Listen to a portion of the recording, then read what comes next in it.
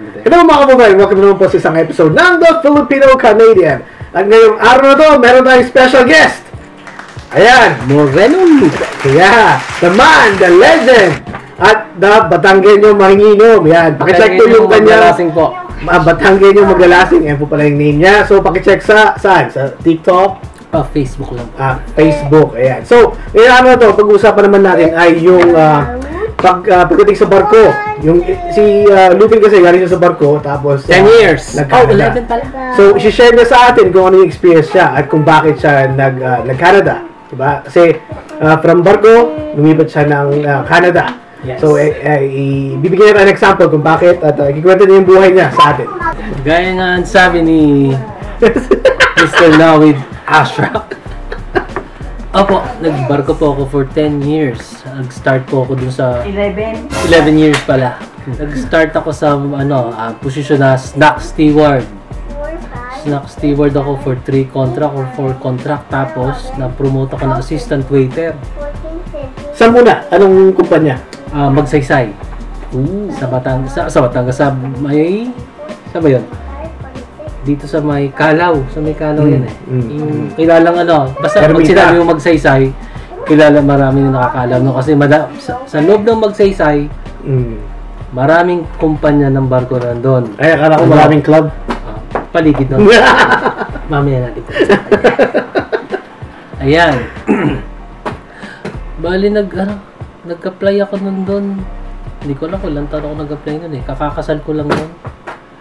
Kaya tinulungan ako ng kasi yung binan ko, may kakilala na nagtatrabaho sa magsaysay. Mm. Parang ano siya. May kapit, ha? Mm.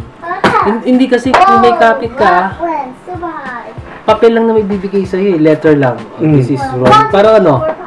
This this is Roland Dilagan, blah blah blah. Pamang, ano, ganito ganito. Mm. Trying to apply here in this company, mga ganun. Mm. Pero, pagka ikaw, sige, dala mo yon. Madali lang yun, makakalampas sa security guard. Ah. Diretso ka sa office sa taas. Fourth floor, second floor, third floor, first floor. Mm. Pero pagdating doon, sa magsaysay, sa office, in-interview ko ng manager, ikaw pa rin. Yung backer mo o yung letter na dala mo, wala rin yun eh. Mm. Sasagutin, sasagutin mo pa rin yung mga question nila sa'yo, of course. Mm. Anong application mo? Saan ka mag-apply? Restaurant department. O sige, anong gusto mo? Ganun ganito. Tatanungin ka nila about food. Ano bang sinaserve? Ganun ganito. Mm. So, kailangan mo pag-aralan yun.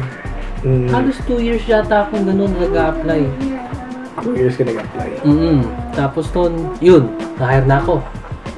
Sumampa ako ng barko ng Anong taon yan? 2001. Mm. Ano bang? What year did I, ano?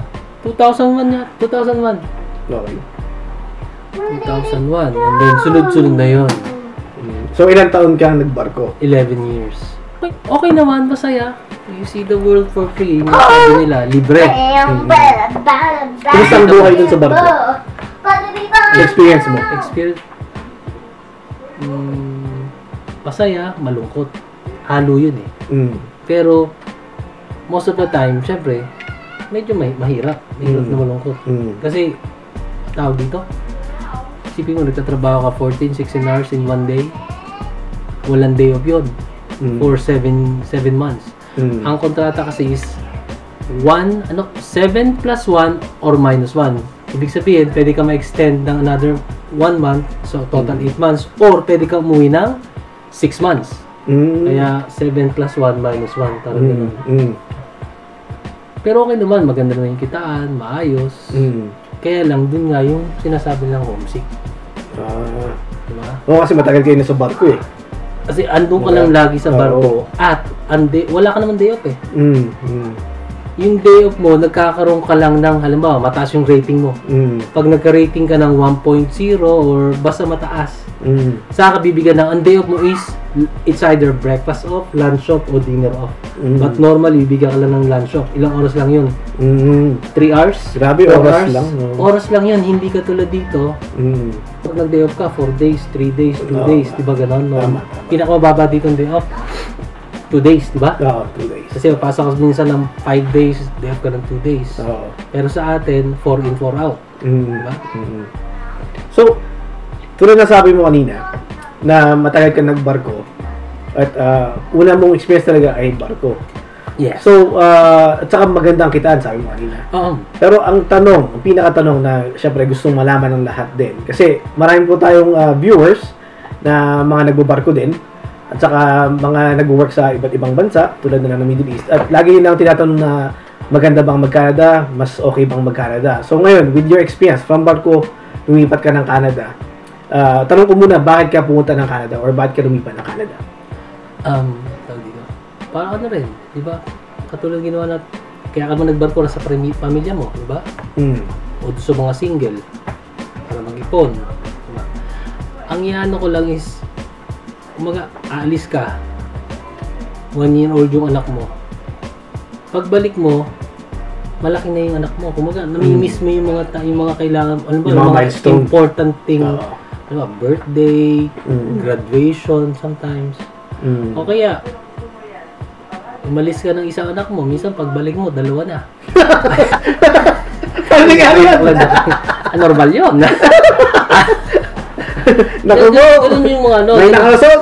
ganun yung mga tawag dito naririnig ko, experience ko sa barko, naririnig ko lang sa mga kasama ko. Sa trabaho. Mm, mm, Ngayon, tinanong mo ko bakit ako nag-Canada, kasi mm. yun na nga, mas it's at least makakasama mo yung pamilya mo. Oo. Kung nag-land base ka, especially nagpunta ka dito sa Canada, Mm. siguro for the 1, 2, 3 years application mo or ano, pag na-settle ka na, Oo. na PR ka, ayun, pwede mo nandalin yung pamilya mo. Oo nga. Diba? Oo nga, tama. Kumbaga, tsaka okay, ano ba, ano mong question na ano? Okay dito sa Canada eh, maayos naman. Marami nagsasabi, ano? Mm. Ano ba sabi dito sa Canada? As, ano? Ano, ano yun? Um, Budol? ano ba nilong budol? Nalulo, naloko sila. Oo. Hindi naman. Scam. Na-scam yun, na-scam Oo. sila. Oo. It's because, nandito na sila, Mm. ha? Nung nawalan si, halimbawa hindi nag pumasok ang application nila, Mm. within time lang nila, umuwi na sila. Oo nga. Oo. Sinayang nila yung opportunity. Oo nga. Kumbaga, pwede naman sila mag-stay, kaya lang sila, it's because may naisip, ah, balik na lang ako sa barko. Oo nga. Balik na lang ako sa dati kong trabaho, sa ano, sa Oo ganito, nga. sa ganun. Uwi na lang ako.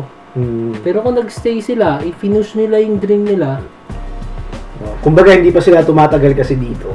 Oo. Hindi pa nila na experience Yun. talaga kung ano yung pwedeng ibigay ng Eh, kanila. ito pang mahirap dyan kasi sometimes wala kang, wala nagsusupport. Yung ano, kahit kaibigan lang na magsusupport sa'yo, hindi naman support as na bibigyan ka ng financial, hindi. Mm. Mm. Yung ano lang, Guide. guide lang na, stay ka lang, ganito, ganun. Mm. Yung iba kasi, umuwi na lang. Nga. They, they choose to go home, then go back to their, ano, job, Mm. older job, past job, or whatever na ano. Ayun. And Mm. then, sila yung nagsasabing scam ang Canada. Tama. So, tama. So, ang ganda ng ah, naging experience mo. Ngayon, pagdating sa, pag-usapan naman natin ang sweldo. So, anong, kung ikukumpara mo ang sweldo sa barko at ah, ah, sweldo dito sa Canada, inland, anong mas maganda? Um, malaki yung ano, difference.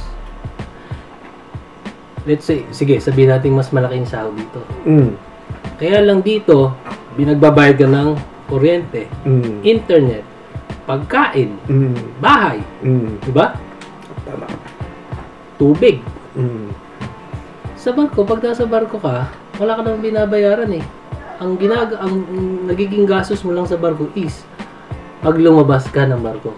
Mm. Tatawag ka Mm. sa pamilya mo, bili ka ng card, Mm. di ba? Noon yun, way Mm. back 10 years ago. Oo. Ngayon, wala, may internet na. Mm. Normally sa mga barko, may mga free internet, Wi-Fi. wifi na yan. But before, wala yan. Bibili ka talaga ng chips, Vodafone, Mm. kung ano man, ano yan, SIM card dyan, na may loadan mo, which is Mm. mura lang naman. Mm. Or pag lumabas ka, gusto mong kumain sa Chinese restaurant, o sa Mm. anumang restaurant ang pinili mo, Mm. or bumili ka kung saan ka magpunta. Siyempre, yung mga seaman kasi mahiligan sa, Mm. siyempre, maghapong trabaho, minsan, Oo. ma- pag gusto nila Good time ano, good time. Oo. Siyempre. Kaya siyempre, ibang mga seaman yan, pag lumabas eh, pam! Pero ako hindi, yung ginawa yan. Oo, Straight tayo. Oo naman. Gusto ko ba na makapagpwede yung asawa ko nakatikit? Oo naman, tigre. Ayun, hindi ganun, ganun talaga ano. Yung iba kasi, hindi nila, parang, kasi malaki ka lang, malaki talaga ang kita sa barko. Mm. Nakakaipon ka talaga sa barko. Kasi wala ka namang ginagastos eh. Mm. Mm. Kung ikaw yung taong matipid. Mm. Marami yan na. Kaya kita mo yung mga sima na kasama ko. Yung mga kasama ko nagbabarko. Pag umuwi yan, kung bumili ng bayan, milyon. Mm. Diba? Ang problema sa kanila, hindi sila marunong magano ng pera. Ang nangyayari, magstay sila ng 6 months yun. Kabibili pa lang, sanla na. Oo nga. O, totoo yan. Totoo yan. And then, ang katwiran, sige, pag sampa ko naman barko, bawi ko agad dyan. Oh, so, mababawi naman talaga. Mm. Kaya lang, ganun na lang balagi ang mangyayari. Ayun. May iba mga nagbabarko dyan, natatalino, nagtatay ng business, Mm. nag ano. So, yan yung mga na, ano, kaya lang, siguro mga 10% lang Mm. sa kanila. Mm. Galing. Yung iba nag-end up tuman, tumatanda, at talaga tumata, umaabot talaga ng tanda Mm. sa pagbabarko. Mm. At at the end, wala pa rin. Walang ipon. Walang ipon. Mm. Siguro may ipong konting-konti lang. Nga. Nangyayari, kasi yung mga seaman, hindi ko naman nila lahat. Mm. Sama ka na. Sige, ando na ako siya na. yung ano, sige, napagpapatapusin ko talaga yung mga anak ko. Mm. Yung mga anak nila, sige, tapos yan sa mga gandang school. Oo. Private school, Mm. Pagdating ng college, may sasakyan, gano'n, gano'n. Oo, ayan yan. Kaya lang tatanungin mo yung sarili mo. Nagpakahirap ka ng ano, buong buhay mo. Mm. Paano pagka ikaw na ngayon nagretirado ka na, hindi ka na Mm. papagbarko? Mm. Saan kayo pupulutin ng mag-asawa? O sige, may bahay kayo, ano? Mm. Inusuportahan naman kayo ng mga anak nyo. Wala namang problema. Pero eh, syempre, di ba? Mm. Retired ka na, gusto mo, nakaupo ka lang, kataas yung paa mo, Mm. yun ang. Tama. Diba? Tama. so, ngayon, kung pagpipiliin ka ulit, Mm. di ba? Anong mas pipiliin mo? Ang buhay ah, ang buhay seaman or ang buhay dito sa Canada? Um, kung papipiliin, sa, dito na sa Canada. Kaya lang, nagpapasalamat pa rin ako na na-experience ko yung pagbabarko. Mm. Which is maraming, maraming, marami sa inyo yung ano bang buhay ba sa barko? Ano bang ganito? Mm. Ano bang ganito? Mm. Masaya. Masaya tayo. Hin- Hindi ko na ina, hindi ko kayo dinidis sa yung mga gusto magbarko. Wala namang problema eh. Kaya lang, maging matalino kayo pagdating sa pag kumikita na kayo.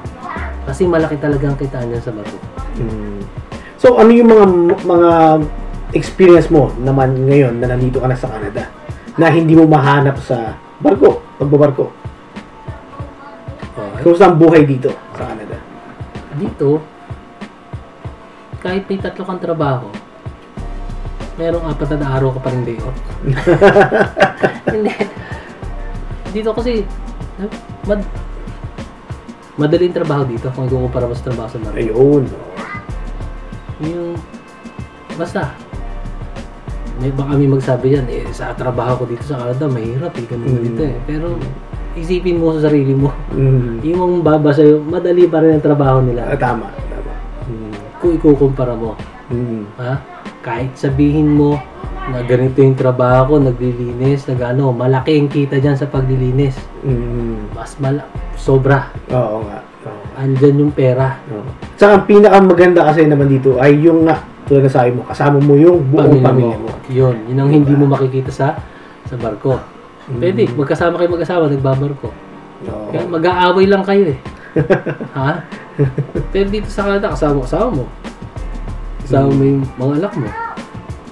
Pagising mo sa umaga, may nagluto na sa'yo.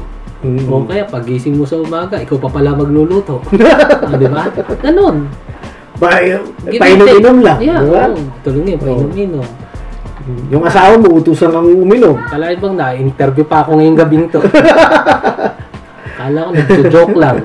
So ngayon, uh, for finale, Mm. ano ang ma-advise mo sa mga gustong mag-Canada? Galing barko or galing ibang bansa, Middle East or anywhere around the world, ano maipapayo mo sa kanila? Push nyo lang, mga sir, mga lords. Push nyo lang. Gusto nyo magpunta ng Canada? Apply, at diretso yung application nyo. Gusto nyo ng tulong? Ah, na, na, tulong. Ano lang kami? Um, Guide.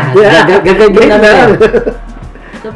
Pwede kayo mag-message kay Sir, Nawi. Ano ba? Ano bang nga? Sa'yo, sa'yo. Batanggen yung mga Batanggen inom. yung Pakian. maglalasing. Oo, oh, maglalasing pala. maglalasing sa Facebook yan. Moreno Lupin. Ayun, hanapin nyo, ha? Pakian. mga Pwede ko kayong i-guide. Pwede ko kayong tulong. Yes. Tulong lang.